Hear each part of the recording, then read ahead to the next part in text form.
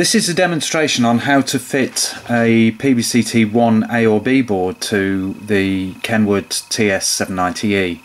Um, just very quickly I'll show you the, uh, the key functions. I've used the 144 attenuator switch as the on-off button for the encoder and I've used the 1200 alt um, button to um, double up as the tone select. So if I switch on We've now defaulted to tone F, which is uh, our local area code.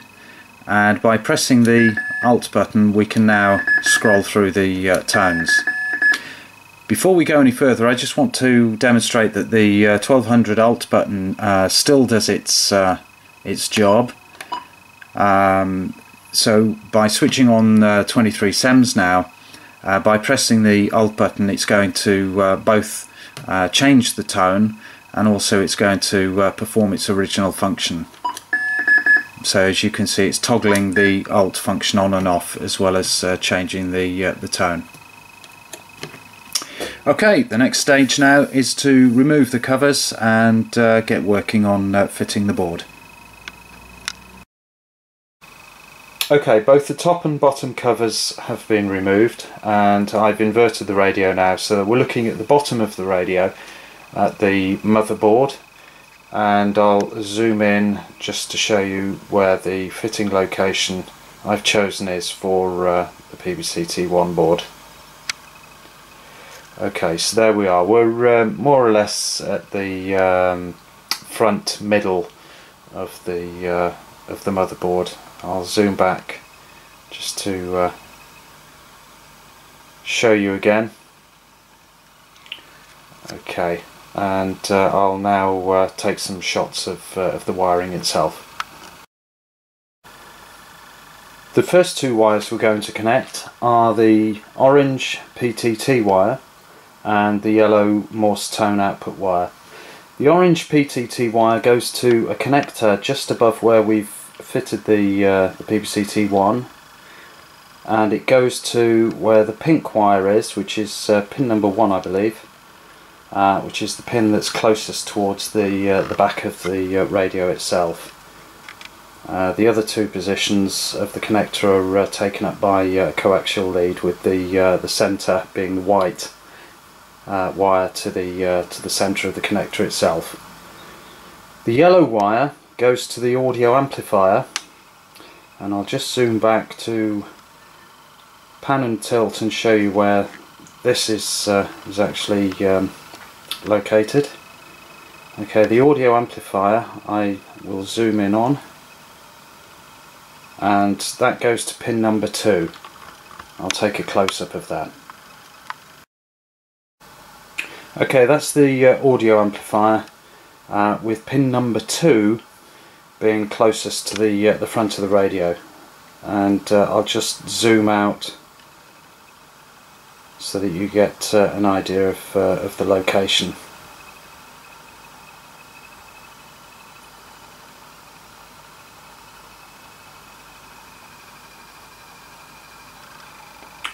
Okay.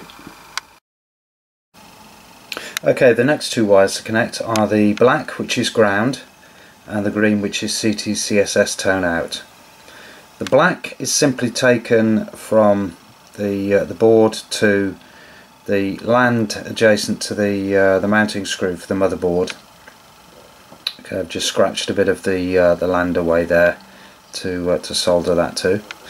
The green wire goes to the wiper of the maximum deviation uh, potentiometer or trimmer um, which is just here on the right hand side just there and if I move the, uh, the wiring loom to one side we can see that we've just soldered the green wire there to the uh, to the wiper.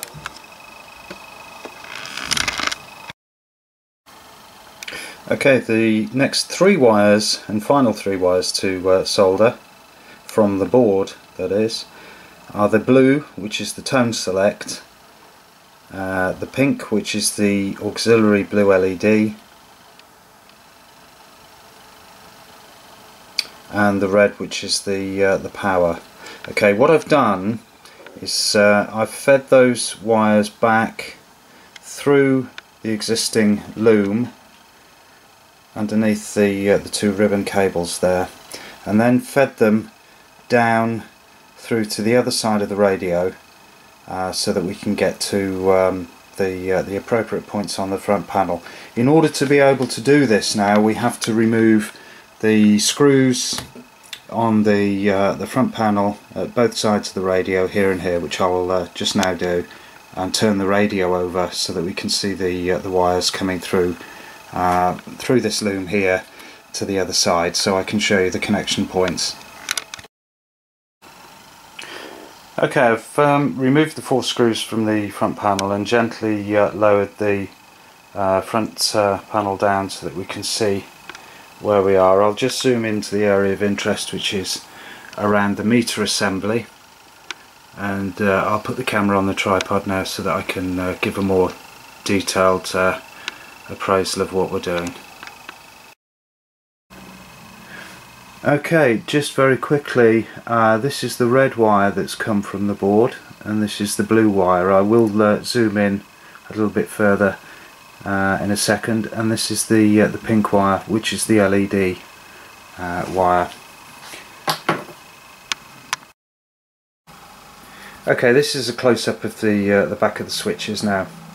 Right this switch here is the 144 uh, attenuator switch. As I say the power goes to, uh, to the right hand side of it the left poles being oh, sorry the left pole being there and the uh, the contacts up and down there and there. Okay so to the right hand switch goes the supply. What we do is we cut this uh, track here uh, which is the attenuator function.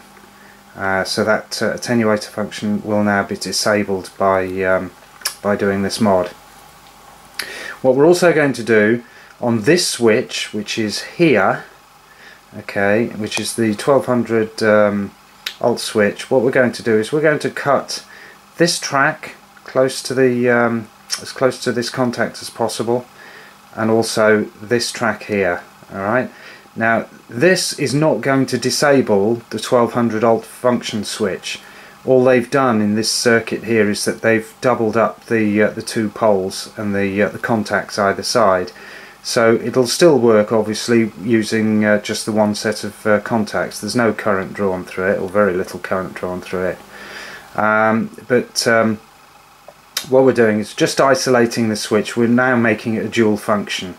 Okay so what we do is we connect the tone uh, select to this particular pin here and the pole we've isolated from the rest of the circuitry uh, we put a jumper wire from the pole to ground okay? Uh, and that way um, we're providing then upon the momentary uh, pressing of the uh, turn alt switch we're providing a pulse um, a negative going pulse to the um, to the tone select board.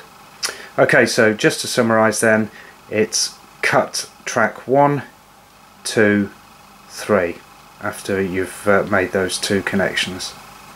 And that's that particular mod